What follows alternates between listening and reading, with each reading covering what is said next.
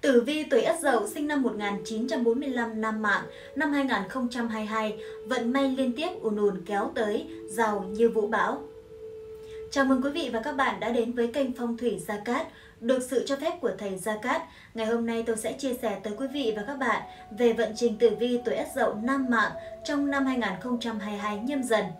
Chắc hẳn quý vị tuổi Ất Dậu sinh năm 1945 nam mạng đang rất tò mò về vận trình của mình trong năm 2022 sẽ như thế nào, đúng không ạ? Xin chúc mừng quý vị, năm nay là một năm cực kỳ may mắn với quý vị đó ạ. Sau bao năm khổ cực thì bây giờ cũng là lúc gia chủ tuổi Ất Dậu nam mạng phất lên như diều gặp gió. Phần gia đạo của tuổi này cực kỳ có nhiều điều tốt đẹp. Gia đạo luôn yên ấm, bình an, đặc biệt là trong năm nay được yên tâm về gia đạo. Đường công danh sự nghiệp được sáng tỏ khiến cho nhiều người phải ghen tị và cúi đầu ngưỡng mộ. Cho dù gặp cảnh đổ vỡ giữa chừng vì hoàn cảnh tác động trước đây, nhưng từ nay trở đi thì có thể phát triển không ngừng. Sự nghiệp bắt đầu sẽ thâu tóm được kết quả, tiền bạc làm ra nhiều nhưng mà lại cũng hao hụt vì những sự cố bất ngờ.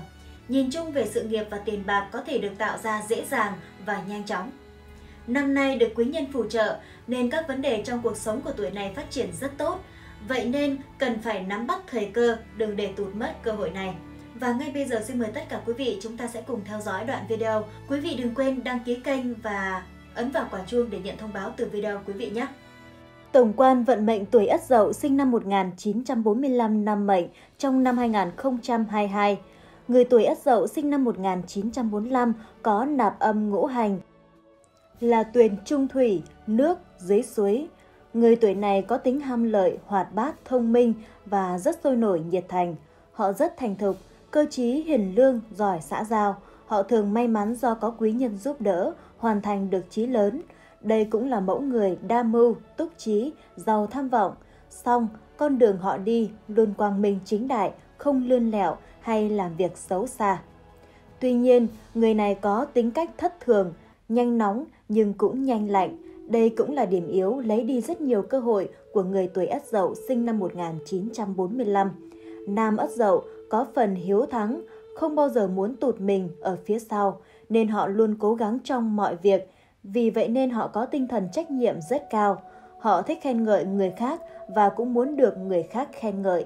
Tuy nhiên, tính cách cố chấp, không chịu nghe lời khuyên bảo đóng góp của mọi người, cho nên nhiều fan lận đận. Xét về vận hạn năm nhâm dần 2022 năm mệnh Ất Dậu, sinh năm 1945 gặp phải sao chiếu mệnh, sao vân hớn, vận hạn, địa võng, hạn tam tai.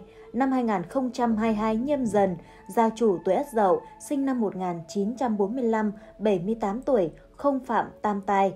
Hạn hoang ốc, Nam mệnh 78 tuổi, không phạm hoang ốc, kim lâu, rơi vào hạn kim lâu, tử. Xét về mối quan hệ địa chi, dậu gặp dần, không xung khắc, bình ổn. Xét về mối quan hệ thiên can, thiên can ất âm, mộc, gặp nhâm dương thủy là thương quan, nghĩa là bản thân bị khắc chế.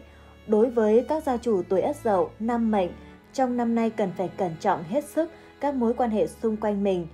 Tránh vì những mâu thuẫn nhỏ mà xảy ra xung đột khi gặp phải vấn đề cần giữ bình tĩnh để đưa ra phương án hợp lý để tránh gặp phải thị phi và mất lòng những người xung quanh. Vậy nên gia chủ tuổi Ất Dậu cần phải luôn mang theo bên mình một kim bài thái tuế để hóa giải. Kim bài thái tuế là vật phẩm phong thủy chuyên hóa giải hạn thái tuế của năm.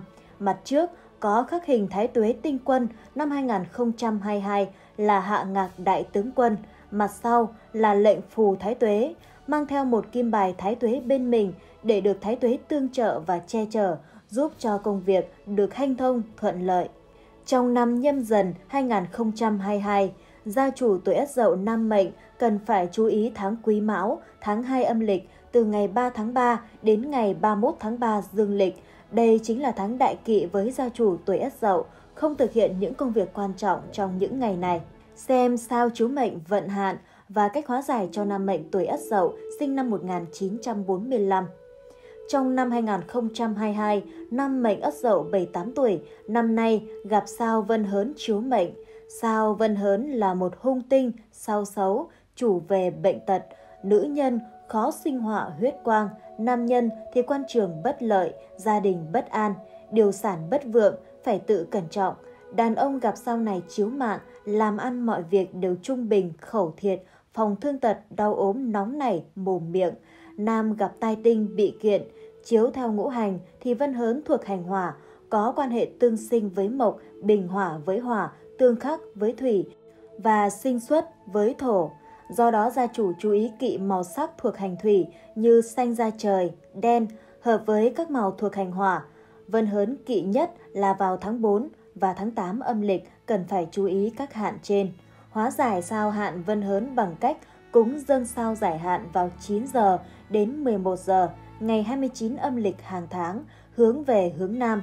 Lễ vật gồm 15 ngọn nến hoặc đèn, bài vị màu đỏ của vân hớn tinh, mũ đỏ, tiền vàng, gạo muối, nước, trầu cao, hương hoa, ngũ oản, bài vị sao vân hớn giấy trắng, viết dòng chữ Nam Phương Bính Đinh Hỏa Đức Tinh Quân tiền vị, hoặc đơn giản hơn là sử dụng nguyên tắc là sao xấu thuộc ngũ hành nào tiết giảm đi, còn sao tốt thì chọn ngũ hành tương ứng hoặc sinh ra ngũ hành đó. Cụ thể, sao vân hớn, ngũ hành là hỏa, nên dùng hành thổ để tiết khí hành hỏa của sao xấu.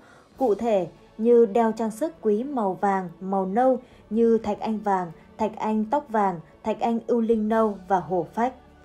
Nam sinh năm 1945, năm nay gặp hạn địa võng. Nhắc đến hạn địa võng, người xưa có hai câu thơ lục bát như sau. Địa võng nhiều nỗi buồn than, lời ăn tiếng nói xanh đoan dày già. Có nghĩa là người nào gặp phải hạn này, nhiều nỗi buồn trong cuộc sống, gặp nhiều rắc rối thị phi, dù làm đúng hay sai, vẫn bị người khác hiểu nhầm, muôn đời mang tiếng xấu. Điều này khiến cho tâm trạng người gặp hạn trở nên đau phiền, buồn lòng. Khi gặp phải hạn này thì các mối quan hệ xuất hiện nhiều mâu thuẫn, hiểu nhầm.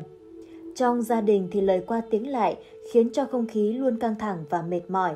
Không nên quá tin vào lời nói của người khác, nhất là không cho người lạ mặt ở hay ngủ nhờ. Chẳng may tai bay vạ gió hao tiền tốn của, dễ xảy ra tình trạng trộm cắp, mất mát tài sản.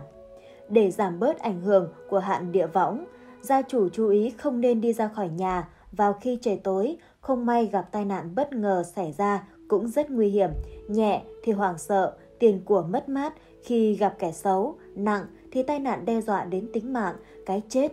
Song đó gia chủ không nên cho người lạ mặt vay tiền hoặc ngủ nhờ qua đêm, chẳng may gặp phải kẻ xấu nổi lòng tham, đánh cắp tài sản, thậm chí còn sát hại đến tính mạng.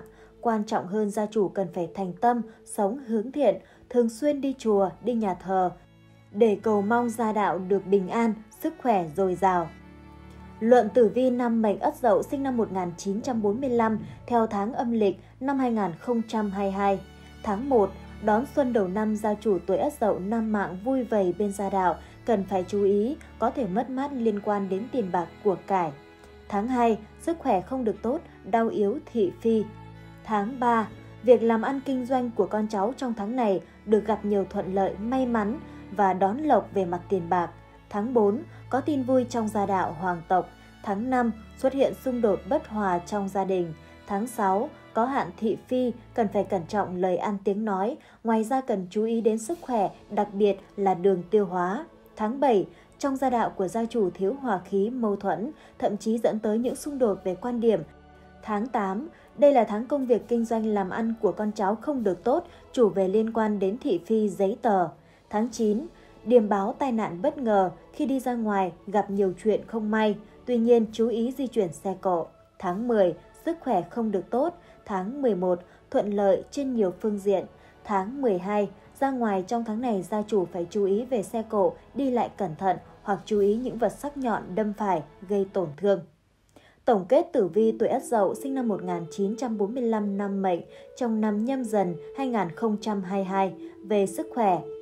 Năm nhâm dần 2022 tuổi Ất Dậu sinh năm 1945 về tình hình sức khỏe được cải thiện rất nhiều, ít ốm đau hay mắc các bệnh do cháy gió trở trời. Một số căn bệnh tuổi già đã theo gia chủ từ lâu năm đã không còn nguy hiểm nữa do hợp thầy hợp thuốc và tinh thần gia chủ vui vẻ phấn chấn. Bên cạnh đó, gia chủ tích cực tập các bài tập đúng độ tuổi, có chế độ ăn uống nghỉ ngơi hợp lý cho nên sức khỏe có thể được đảm bảo. Phong thủy Gia Cát khuyên gia chủ nếu có thời gian nên đi chùa thường xuyên để tâm được tĩnh. Gia chủ nên mang theo bên mình pháp khí phong thủy. Mệnh chủ trong năm nay sẽ cần phải sử dụng vòng cổ, bát bảo, tâm kinh để bổ trợ thân mệnh cho mình. Đây chính là pháp khí phong thủy của nhà Phật, mang lại sức khỏe, giúp chiêu vận quý nhân, kích tài, nạp phúc, tăng cường hòa hợp thiên địa nhân hợp nhất. Vật phẩm phong thủy bát bảo tâm kinh đã được thầy Gia Cát trực tiếp khai quang trì chú và xem ngày giờ sử dụng để mang lại tác dụng phong thủy tốt nhất cho gia chủ, đặc biệt là gia chủ tuổi Ất Dậu sinh năm 1945. Về tình cảm gia đạo, năm nhâm dần 2022, gia đạo yên ổn, các mối quan hệ gia đình, bạn bè, họ hàng, xã giao đều hài hòa tốt đẹp, nhờ thái độ đối nhân xử thế khéo léo mà luôn được mọi người quý mến, kính trọng. Gia đạo êm ấm, con cháu chăm ngoan, học hành thành đạt, tình cảm gia đình bền vững là những niềm vui tinh thần cực lớn với con giáp này. Nếu đang sống đơn thân, tuổi ất dậu có cơ hội gặp gỡ người khác phái, vun đắp tình cảm ấm áp lúc tuổi già. Có thể ở tuổi này tình yêu không còn quan trọng, nhưng cũng là chút niềm an ủi với tuổi già. Gia chủ nên đem theo bên mình vòng tam hợp quý nhân, tỵ dậu sửu, giúp kỵ tà, hóa sát, gia đình hòa hợp. Đặc biệt, vòng tam hợp quý nhân cũng được thầy Gia Cát trực tiếp khai quang trì chú và xem ngày sử dụng cho gia chủ tuổi Ất Dậu sinh năm 1945 để vật phẩm mang lại công năng phong thủy tốt nhất. Trên đây, Phong thủy Gia Cát vừa chia sẻ với gia chủ về vận trình tuổi Ất Dậu sinh năm 1945 năm mệnh. Nhìn chung, ở độ tuổi của gia chủ, công việc hay tài lộc không còn quan trọng nữa. Điều gia chủ cần quan tâm đó là chú trọng vào sức khỏe và gia đình. Trong năm nhâm dần, gia chủ cần phải chú ý tuyệt đối cẩn thận khi di chuyển, chân tay dễ bị thương tổn, cần phải dĩ hòa vi quý các mối quan hệ, đặc biệt là lắng nghe ý kiến từ con cháu, chăm sóc sức khỏe của bản thân thật tốt. Thưa quý vị, vậy là chúng ta đã cùng nhau phân tích xong về phần luận giải lá số tử vi cho tuổi Ất Dậu sinh năm 1945 năm mạng trong năm 2022 nhâm dần. Và chắc hẳn là quý vị cũng đã biết là mình cần phải làm gì cho tương lai, đúng không ạ? Thông qua chương trình ngày hôm nay thì chúng tôi cũng luôn mong muốn rằng quý vị hãy áp dụng những kiến thức mà Phong thủy Gia Cát chia sẻ vào trong cuộc sống hàng ngày để thay đổi vận mệnh của mình ngày một tốt hơn. Cảm ơn tất cả quý vị rất nhiều vì đã luôn đồng hành ủng hộ cùng với chúng tôi trong suốt thời gian vừa qua.